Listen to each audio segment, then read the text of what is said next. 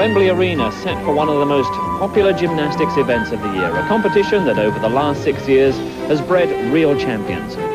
In 1980, the winner was Terry Bartlett, who went on to represent Britain at the Los Angeles Olympics. Our 1981 winner, Sally Larner, became the first British girl to win the overall gold medal at the Coca-Cola International.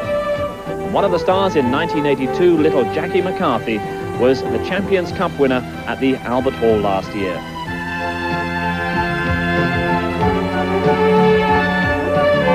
Good afternoon. Well, what a standard this Thames Television Junior Gymnast competition has set over the last six years.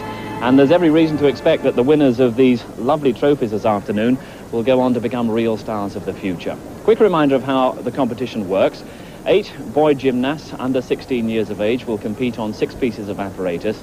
Eight girls under 13 will compete on four pieces, and all in the tremendously tense atmosphere of the Wembley Arena. Well, our guest this afternoon, Suzanne Dando, knows all about that tense atmosphere. What can it do to uh, a competitor's nerves? It makes your spine shiver. I mean, walking in here today, it's such a, a lovely atmosphere. When Once the people start coming in, uh, it's even better. But even on its own, just to stand in the auditorium, it's, it's a wonderful feeling. It's one of the nicest things to compete at Wembley. Doesn't seem to be many nerves watching the gymnasts warm up. what, what have been your impressions of, of the gymnasts you've seen? Well, they're all very good, and uh, what impresses me most each year is that they are young, very young, and they're very uh, full of courage. And as you know, each one of them, all eight girls and eight boys, they're not just the one that's good and the rest not so good. They're all very good and very high standard. So I should be very interested to see who wins. They, they seem today. to be smaller than previous years, don't they? Oh, much smaller. They were smaller than last year, and they're doing just as much difficulty, if not more. So um, I think our older girls have got to keep up their fight when this lot come up. Standard is going to be tremendously high. We'll get your opinion on uh, how the competition goes throughout the afternoon. In the meantime, let's meet the finalists who've won their way through from an entry of over 50,000 gymnasts. The first to enter the arena from Zone, Aidan Richardson and Lisa Law. Aidan from the Hinckley Gymnastics Club, already with international experience. Lisa from Leicester, a member of the national under-12 squad. Alison Howard and Michael Bone. Alison from Rochdale, a member of the Northwest under-13 squad. Michael from Middlesbrough has won the North of England Apparatus Championships for the last five years. Nina Pich and Carl Rainbird. Nina from Nottingham, the current British Junior School champion. Carl from Huddersfield, a lot of experience. He finished eighth in last year's competition. And finally from the north, Karen Hargate and Philip Clamp. Karen from Rotherham, the Yorkshire champion, Philip from Leicester and East Midlands youth champion. Now the eight finalists from the South Zone, Carl Abraham and Meera Jugessur. Carl from Portsmouth is currently training in the United States. He's also trained in Moscow as a member of the junior national squad. Meera from Stevenage is the East Region Under-12 champion. Susie Mack and Simon Ford. Susie from Gillingham last year won the gold medal in the London and Kent Individual Championship and in the British team knockout competition. Simon from the Hendon Club, a member of the BSGA under-16 squad. Lisa Chapman and James Downer. Lisa at 11 years and 8 months, the youngest in the competition. She's from Brighton and is the Sussex under-11 champion. James from Southampton has trained in Moscow and is the Southern Region Under-16 Apparatus Champion. And finally, Nicki Drury and Robert Barber. Nicki, a member of the Loughton Club that won the British Team Championship. Robert from Stoke-on-Trent has international experience. He's the 1983 West Midlands champion. He's recovered well from a long injury in 1984.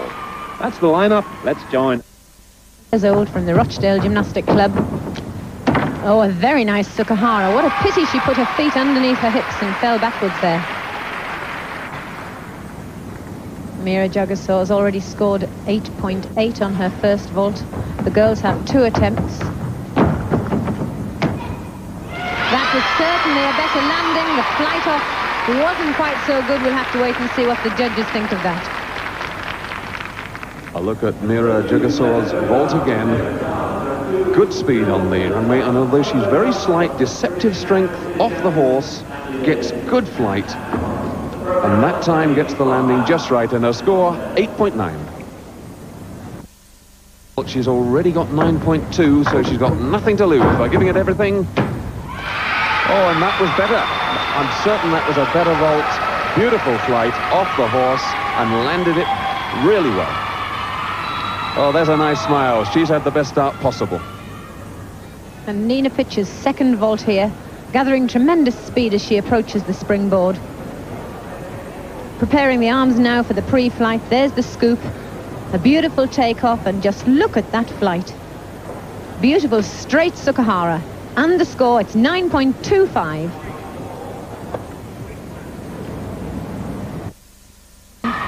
This is her second vault. She scored 8.6 on the first. She'll have a job to better that by much. Certainly with better control, but the tariff of the vault doesn't allow her to get a much higher score.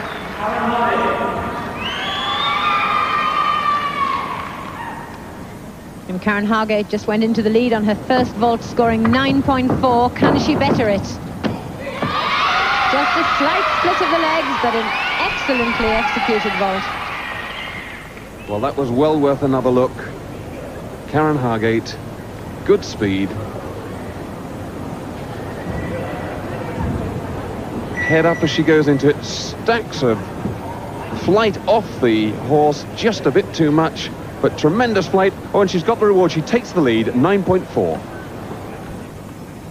And young Nicki Drury, she was the winner in the Southern Zone final. Her second vault, and it was much better. She only scored 8.7 for her first, but she nailed that one.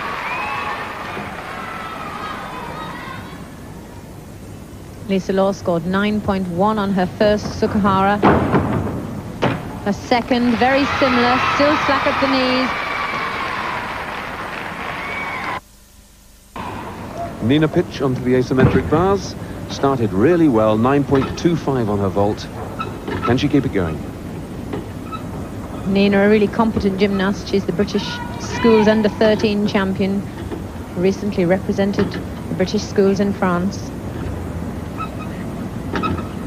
Very strong girl for 13. Full twisting, back away, dismount, a nice swinging routine. Not as polished as it, could have been, though.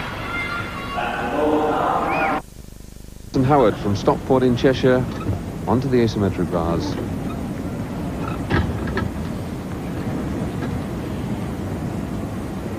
Still not 12 years old. And a very busy young lady, as well as the, the rigorous training routine she must put in for gymnastics, she finds time for tennis and cooking as well.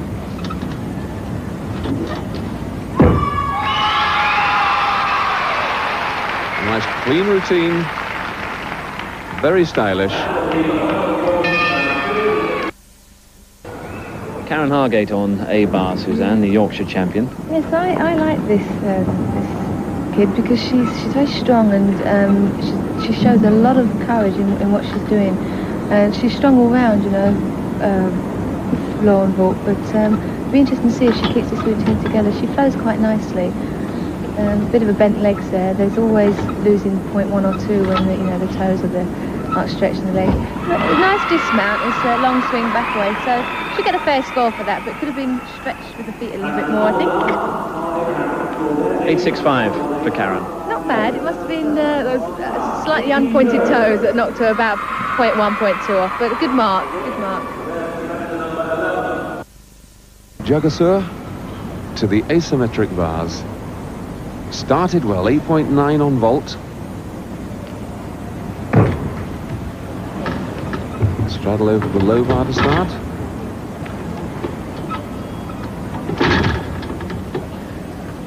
Straddle leap over the low bar again.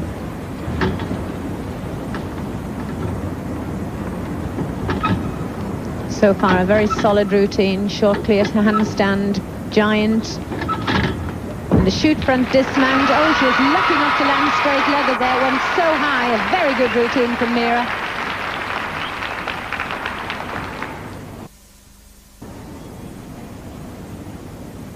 Poised, ready for her asymmetric bar routine. Young Nicki Drury.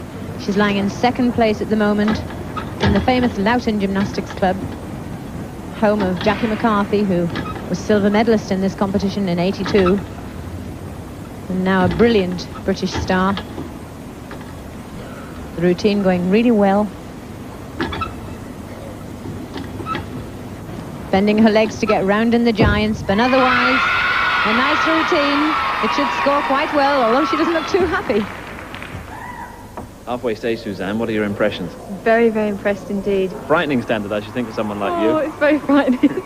and I think what I was doing, which was quite difficult at that time, five years ago, um, it's remarkable what the youngsters are doing now. I mean, and taking consideration that these lot here are only 12, 13 years old, you know. So it is very, very impressive. I'm very impressed. I'm glad I'm not competing now, Steve. I wouldn't like to be out there at the moment. It's nice Okay. to watch. Okay, let's check those positions at the halfway stage. In the girls' competition after the A bars, it's Karen Hargate leading Nina Pich by just .05, and it's still pretty close after that. Meera Jugessur. Suzanne, interesting looking competitor. Yeah, she is. She's, um, for her age, she's relatively tall, but she's very elegant, and with it, she's very strong. And I think this would be quite interesting. It's a nice mount, and as you can see, with that mount, there's a lot of strength gone into that. But um, she moves very well. I've, actually, I've had a sneaky look at Meera. I was in Stevenage when she, where she trains, and she looked very promising in in training, and she does. She's very composed and uh, sort of got a lot of confidence. So. Um, think she should do quite well. There's a very elegant look about her, isn't there? There is, there definitely is, and it always helps when you have that little bit of extra height, and you, she, of course, is quite slim, and uh, it does. It helps to make have that long, lean look. But um, a back flip into another back flip, very nice. Throwing her shoulders off line slightly, which obviously causes a bit of a, a bit of a wobble, but um, she's keeping it together. She does move very nicely. She keeps the whole thing flowing, which, as I say, is very important. As long as she has the right amount of content, she should get um, a very decent mark. I think we've got a back somersault coming up here. Very nice back somersault, solid as a rock. Bound to be nervous on a piece of apparatus like this.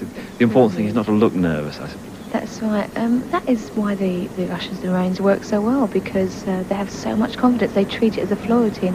And this is what our girls are beginning to. That's nice. Round off double back. Very nice routine and executed very well. She should get a good mark for that. Very good.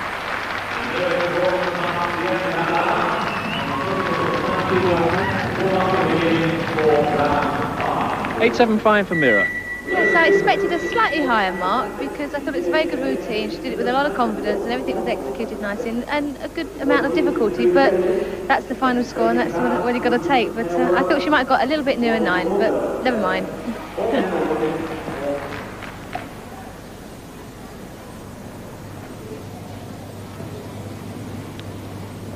Susan Mack to the beam. It's a side mount. Beautifully controlled up into handstand.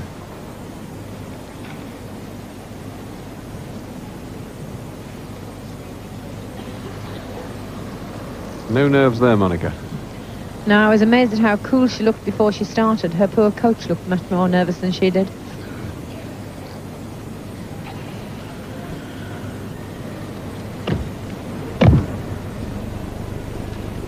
Very strong on the jumps. Her hobbies include athletics and hockey, and the power in those legs shows that.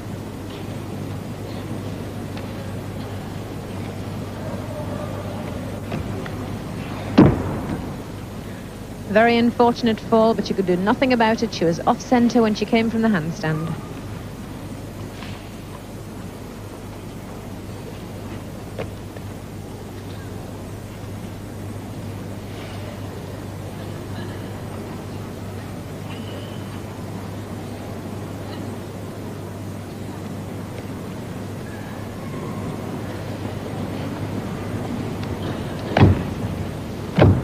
That's a very difficult combination. A change leg split leap into a split half jump. Much more difficult than some of the acrobatic elements. One and a half twisting front somersault finish.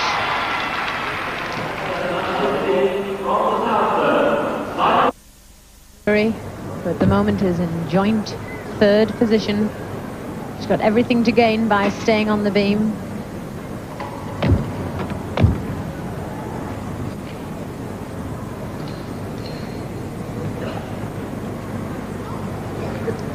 She won the Southern Zone final to reach Wembley. Oh, and that was a, a clever little distribution of weight there to keep her on that beam.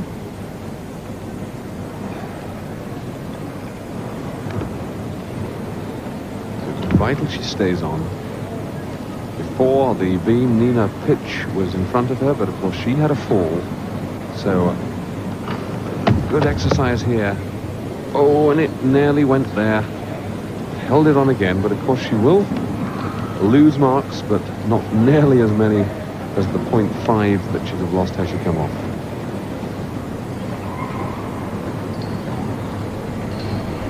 The fashion at the moment in ladies beam work is much more up-tempo routines. And Nicki is trying to work at a faster pace, which is very difficult. And that allows them, of course, to cram so many more skills into their routines, which last for 1 minute and 30 seconds.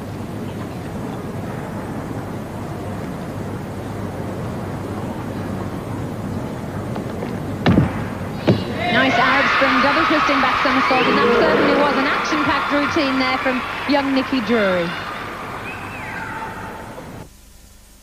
This could be the routine of her life. She's lying in second place, only 0.05 from the leader. So she has absolutely everything to gain from keeping her composure. And a lovely opening tumble there, front walkout Arab spring flick double twist.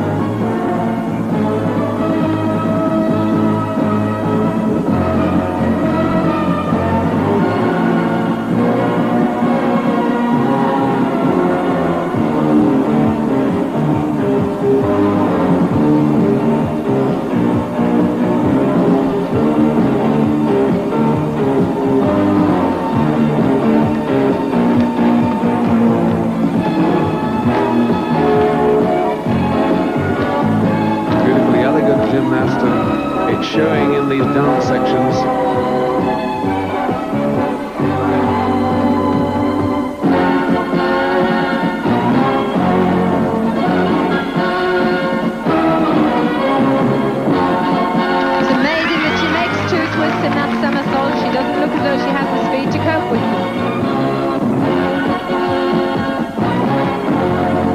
So far, it's going really well. The dance has been elegant. She has the last tumble to do. Looks as though she's tiring. Front walk out Arab spring flick.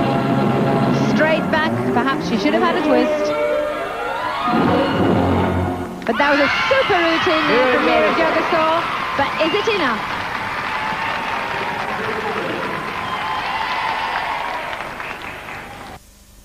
The audience getting really excited, each club cheering for his or her favourite. And now it's Nina Pich, and she's in third place.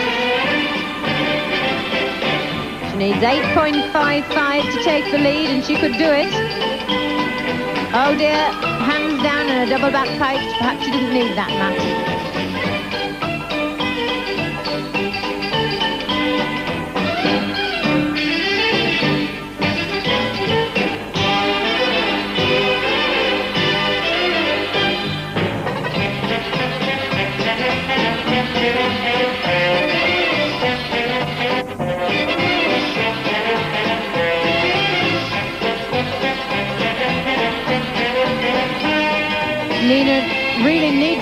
On the tumbles because she isn't a very mobile gymnast and so her score will be reduced on her mobility.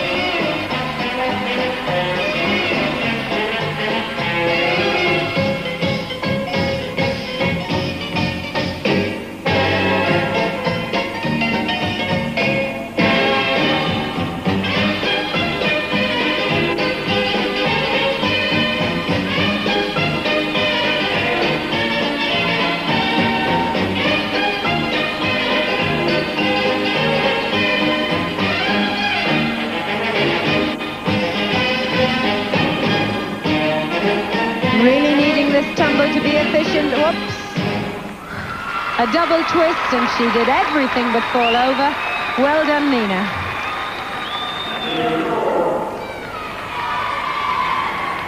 And although Lisa Law is in sixth place at the moment, nothing is impossible because a fall costs so much. With a good routine, she could just squeeze into the medals.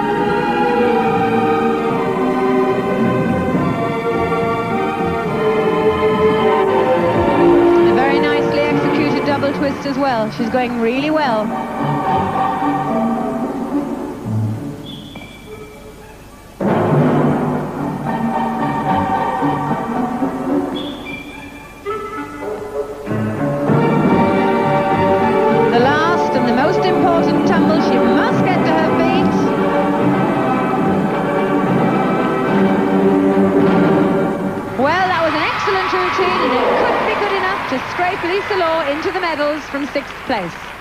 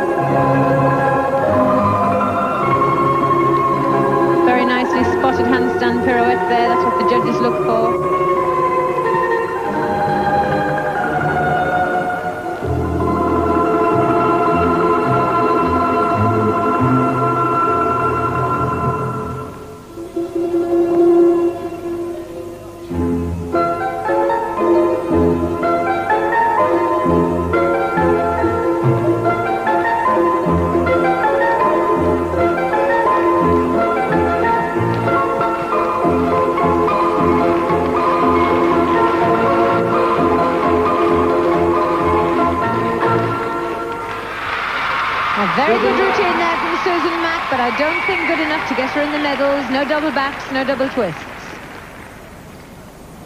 Well, suddenly, Preparing to put all of her efforts into this routine, she's lying fourth, exactly where she finished in last year's final. must be very disappointing for her, Monica. She was in the lead for so long. Got That bad beam. But all so close, there's everything to go for. Well, that could be it, because in the zone final she scored 8.9 on floor, her highest ever score, and if she could produce that today, who knows what she could get.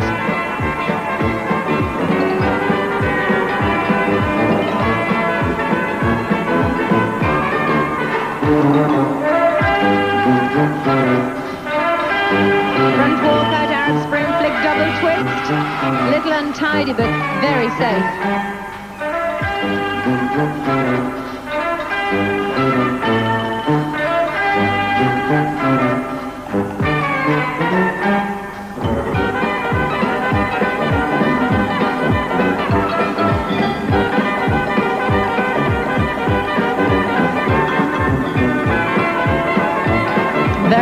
Interpretation to the music, and this is the last tumble.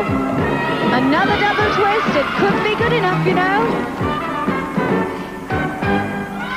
Smashing routine there from Karen Hargate.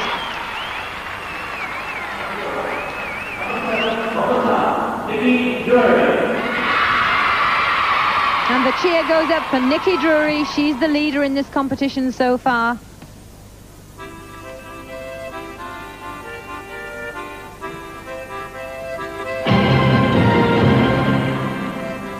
Incredible to see the reaction. She's just under 13 years old, and that sort of responsibility weighing on her head. Here she goes on her tumble runs. Double twist to start in that first one. She really has to do a faultless routine because I don't think she'll be double backing if she hasn't had it in the first run.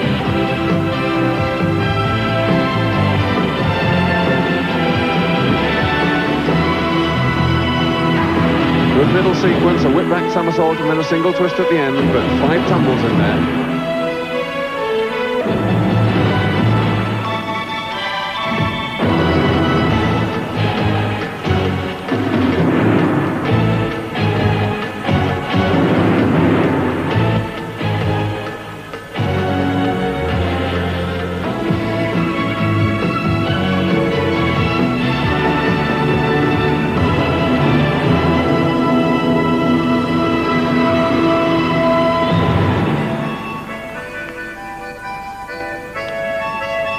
Real cliffhanger. She put a single twist in her at the end, and we've just got to wait for the judges.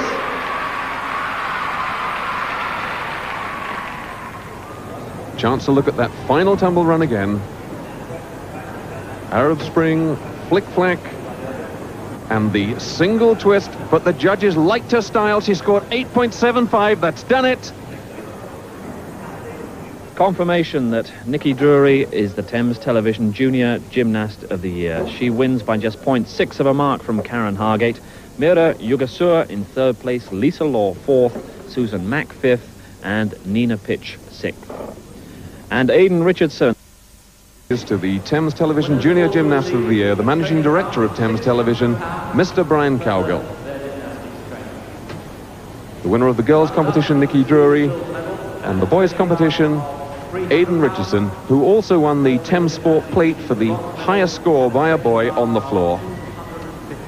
And Mr. Cowgill now gives Karen Hargate the silver medal, and she also won the Paul Lang Memorial Plate for the top score by a girl on the floor. Nicki, congratulations, but it must have been a very tense afternoon for you. Yes, it was. It started so well with that vault. Now, tell us about that, because it's the first time you've tried that, isn't it?